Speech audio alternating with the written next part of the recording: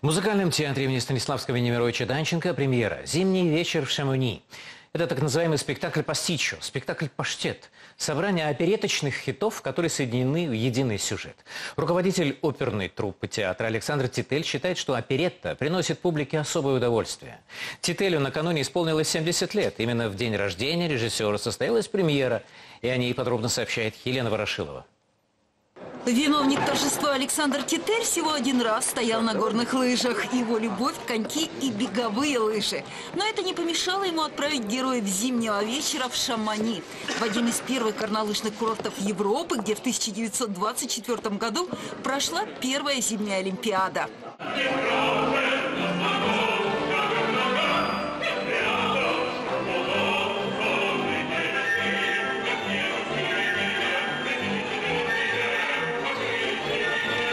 Шамани почему-то мне нравится как-то с детства. Я вот помню это название. Э, там, я бывал в Инсбруке, когда-то я там ставил спектакль и тоже поднимался. Я бывал в Шамани. А, я видел э, Гармиш Партенкирхен. Ну, мы решили, что вот Шамани как-то будет хорошо. Артисты оделись в горнолыжные комбинезоны. Валерий Никитский и Евгения Афанасьева бьют чечетку в полной экипировке. Знаменитые арии Финбаха, Лигара, Кальмана и Штрауса артисты запели, встав на горные лыжи и сноуборды. Евгений Кочаровский даже вооружился ружьем для биатлона.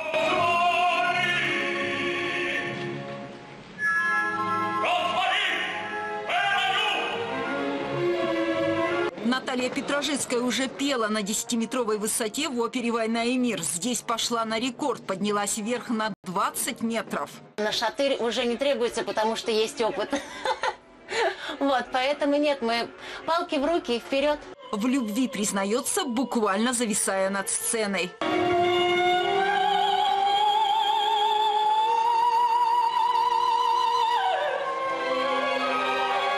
Певцы и артисты балета работают на наклонном пандусе. Экстремальность постановки прочувствовала вся трупа. За время репетиции Владимир Дмитрук сбросил 10 килограммов и научился делать перевороты в 360 градусов.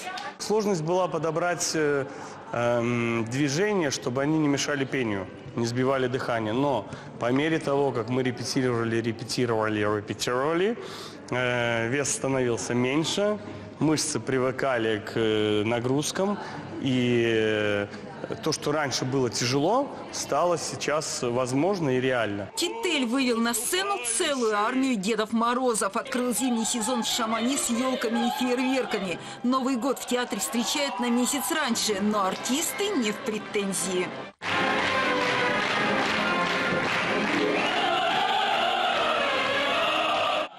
Хибла Герзмава к сюрпризам Тителя привыкла, но каждый раз не перестает восхищаться им. Все, что он придумал в этом театре, это очень интересно.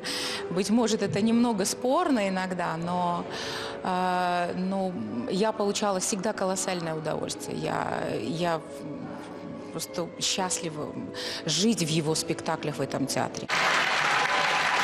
Титель сделал зимний вечер в Шамани по законам опереты легким и игристым. Пригласил английского дирижера Уильяма Лейси, который добавил настроение этой истории, такой непривычной для оперного театра. Елена Ворошилова, Павел Каратаев. Новости культуры.